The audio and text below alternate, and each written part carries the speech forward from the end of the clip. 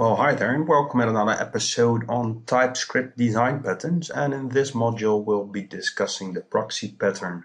When we look at the definition it states that it provides a surrogate or placeholder for another object to control access to it. Um, and the UML class diagram, which is very easy to explain, uh, shows that.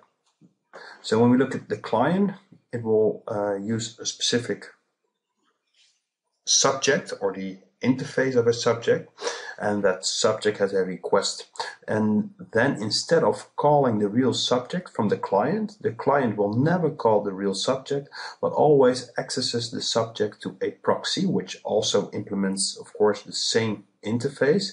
And then the proxy will forward the request to the real subject. And this allows for uh, example lazy loading. So let's say we have a web service and the web service returns a lot of customers. Then uh, when we use a proxy, this allows us for the web server to return uh, proxies to the customers with just the ID of the customer. So instead of loading the complete information on the customer, we return a proxy which has just the ID of the customer. And when we call the get name for example, method, then the proxy could go back to the service, fetch the name from the customer, and then return uh, the name of that customer. So the proxy in this case allows for lazy loading. Another thing you can do is you can add, for example, authentication. So before we go to the service, we authenticate ourselves and then go to the service.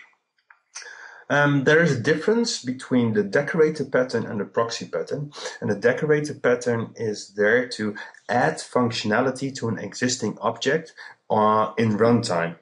And the proxy is there to not add uh, functionality in form of methods, because the proxy will just implement this exact same interface uh, without any extra methods. But in compile time, it already knows about the subject it will be proxying. And most of the times the proxies create their real subject internally themselves. Uh, so I created a, an example. So let's head over to Visual Studio. So when we look at that, I have an interface, iCalculator, and I also, uh, which has just some basic methods, a value, uh, sorry, property, a value, uh, add method, subtract method, multiply method, and reset method.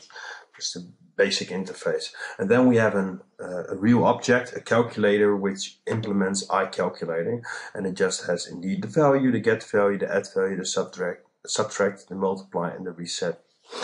So what I then did is I created a proxy. And the proxy, of course, has the same method, but it adds logging to the calculator.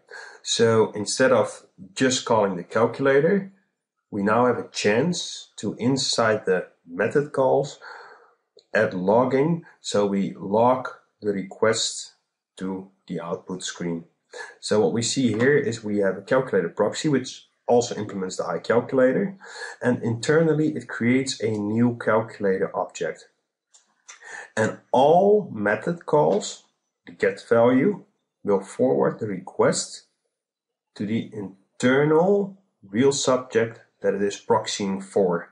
So the value calls, uh, get value just returns the calculator value.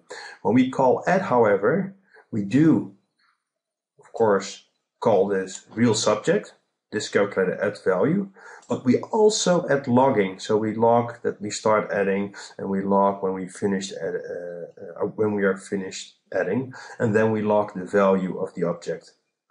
Then we only then we return the result. The same for subtract. We of course call the real subject that we are proxying for calculated subtract. So we call that method, but we also add logging to this method. Okay? And that's what we do for all the rest of the methods as well. So when we, in our load event, create a new calculator, a new iCalculator object, when we assign that, we do not assign it the calculator object, the calculator class that we have here, but instead of that, we just create a new calculator proxy. When we then call add or subtract or multiply, the output screen will also show us the complete logging of these actions. So when we look at the result over here, we see that we have indeed a calculator and when we add 3 we see that the proxy of course will start adding 3 then it is finished adding 3 and then the value is now 3 and this is all outputted because of the fact that our proxy to the calculator is adding logging functionality.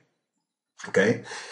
The, uh, it is important to understand that with especially with a proxy you can just replace the proxy with an instance of the object itself because they both implement the exact same interface. So let's head back to Visual Studio. If we would change the code, let's stop this for a second, and we just create a new calculator, our code would work still exactly the same. All we did is we instead of a proxy we used we created a new calculator. So what I expect to see right now is without any logging messages over here, we will just see the final result of the calculator. So when we head over to Internet Explorer again, start debugging, then head over to the proxy you will notice that indeed the code works exactly the same, the result is the same, but because we did not call the proxy but the calculate, eh, this is not refreshed, but we can see that in the output that it is uh, just calling the calculator clause itself, so there's no logging inside the output. And that's how you use the proxy to add functionality or to, uh, for example, like lazy loading, authentication, logging, uh, that kind of stuff. That's how you use the proxy pattern.